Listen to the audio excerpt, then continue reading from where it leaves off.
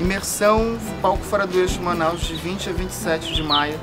É um processo de produção bem intenso agora.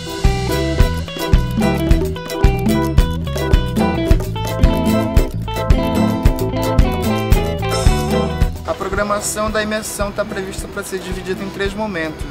É um momento que a gente vai ter uma, uma reuniões livres e abertas para parceiros, é, grupos de teatro, de dança, é, artistas de, de artes cênicas em geral.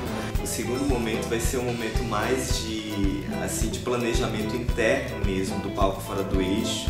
A gente está pensando muito numa perspectiva que a gente chama de auto-hackeamento 2012, que é de pensar em todas as tecnologias que o Fora do Eixo desenvolveu, principalmente para a música e para o audiovisual, e se apropriar delas, e é claro, com as nossas especificidades.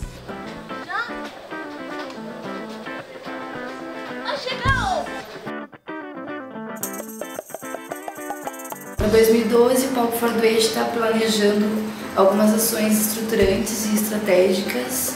Uma delas é o Festival do Palco Fora do Eixo, pensando que esse festival ele vai acontecer integrado em cinco regiões do Brasil. E uma programação artística que é o Cabaré Fora do Eixo. Aí a gente pensa em fazer cabarés temáticos dança, teatro, performance e cada vez mais se aproximar dessas tribos, dessas linguagens. E os grupos, artistas, enfim, buscar que esse espaço que agora acontece em maio, lá em Manaus, no coletivo de fusão, seja esse momento de realmente de um debate intenso para o palco fora do eixo, que a gente vai estar aí buscando hackear um sistema e colocar as nossas perspectivas para 2012, já pensando em 2013.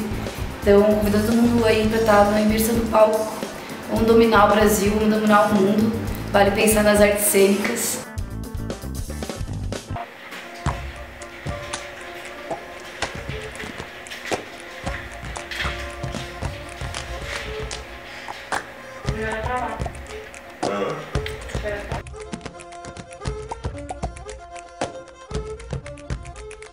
Ei galera, ei galera do, do, do palco fora do eixo, a gente vai chegar aí ó, a gente vai chegar aí